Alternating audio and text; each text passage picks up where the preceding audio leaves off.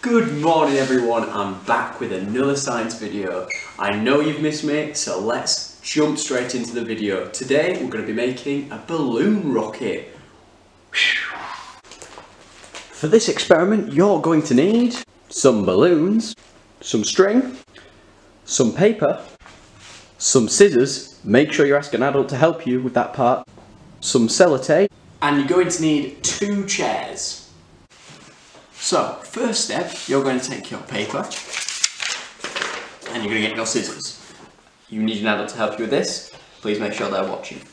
You're going to cut a small strip of paper about two centimetres from the edge and you're going to cut all the whole way across your paper.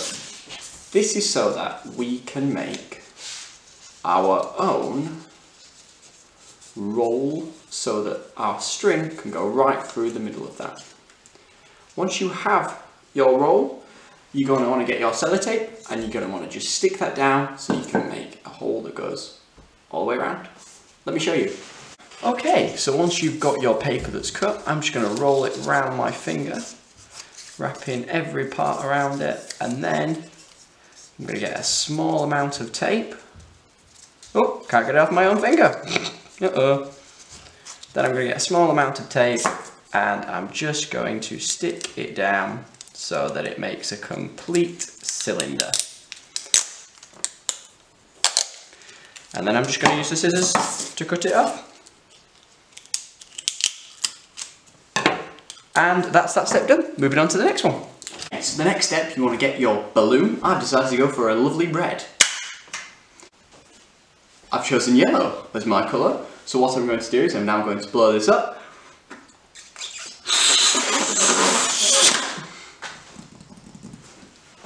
I've chosen to go for the colour blue.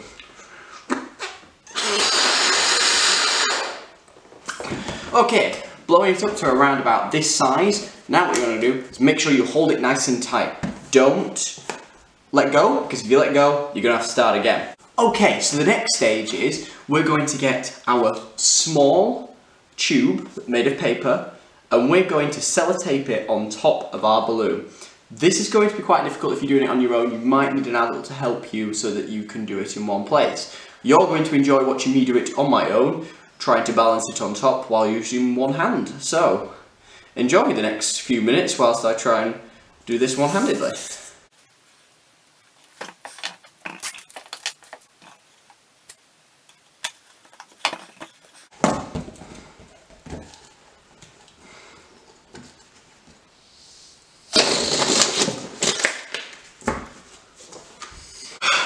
Okay, so I've got my balloon done now. I've got my um, tape and my paper tube on top. Now I'm ready for the next step. However, we're not going to tie it, we need to keep it loose, which means at this stage you can actually just let your balloon go down.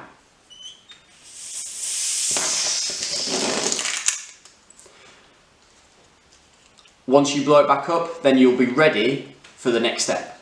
So, but first, we need to do something before that. So let's move on. So now what we need to do is we need to set up where our rocket's going to be travelling from. So I'm going to get this chair and the one that I'm using, I'm going to set them up so that I can have my travelling distance.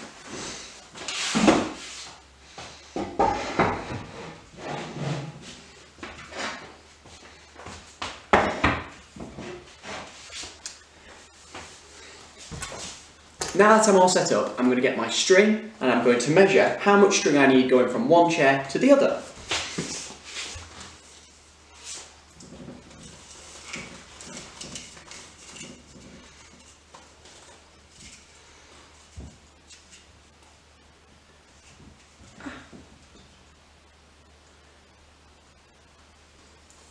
So I've measured, I need, this much string. I'm going to give myself a tiny bit extra so that I have enough space on each side of the string to tie a knot so that our string doesn't just fly around between the chairs. So let's do that now.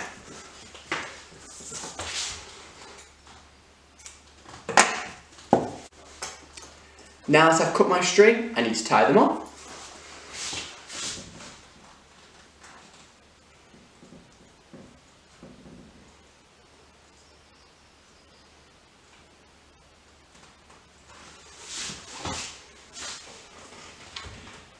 Now once you've tied on one side, you want to leave one side free because we need to do something else before that. Okay, so if you haven't already guessed, this balloon is going to be our rocket. So now it's time for you to blow it back up and you've already got your paper um, slider in place. So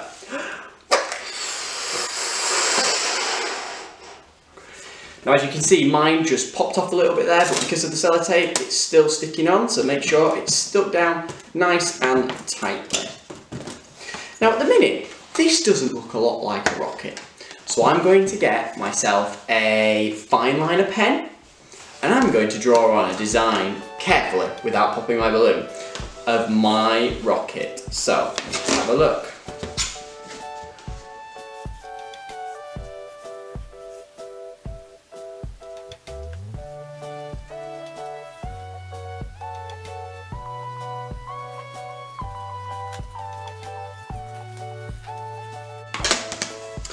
And here we are, I'll show you a nice close-up of what my rocket looks like.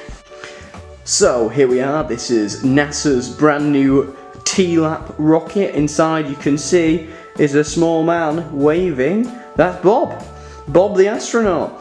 Now we're ready to take off. The last thing we need to do is attach our last part of string to the other chair, so let's do that now.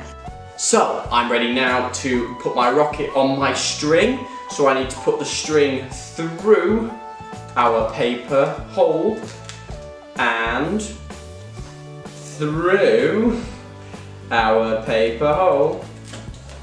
And now I'm ready to tie on this end. Again, somebody else helping would be fantastic here. However, I don't have anyone, so I'm going to try and struggle myself. Enjoy the next few minutes.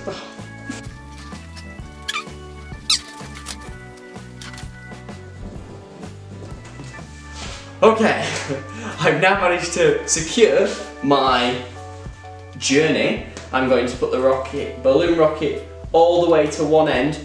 Have a prediction. What do you think is going to happen?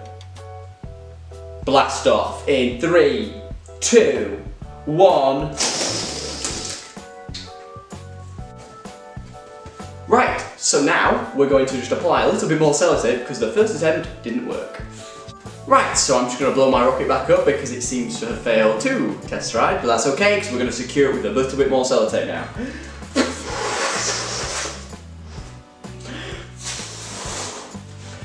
Right, putting my rocket here, I have some pre-cut sellotape, that might be a top tip to get that sellotape pre-cut beforehand so you are not having to try and chase it round the roll.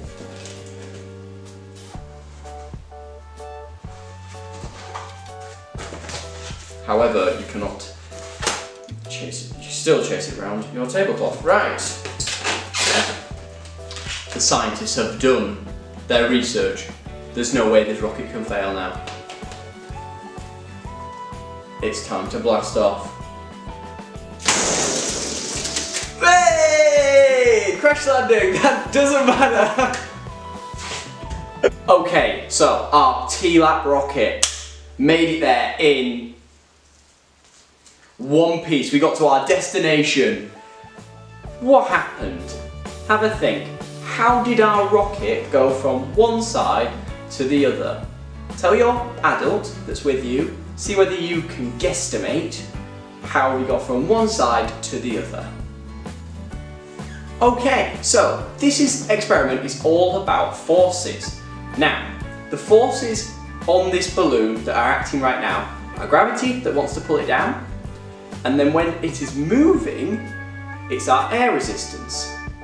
Now to get it moving, we need to add something and what we added was our air, our carbon dioxide, which was wanting to burst out of the balloon because there was no way of holding it in. So as it was bursting out, that was creating our thrust, which was pushing this way, and our air resistance was pushing against it, slowing it down. Now because we haven't got a very far distance, we were able to make the whole length in just the thrust that we had. However, maybe you could experiment with what happens when you make your journey longer, when you have your piece of string and your distance further. Does the balloon make it the whole way? Or does something stop it? That might be that air resistance. Thank you for joining me again on another fantastic experiment. I hope you have as much fun as I did because that was a brilliant experiment. Please keep yourself safe, keep having fun, keep learning from home, and that's all from me for today. See you later. Bye bye.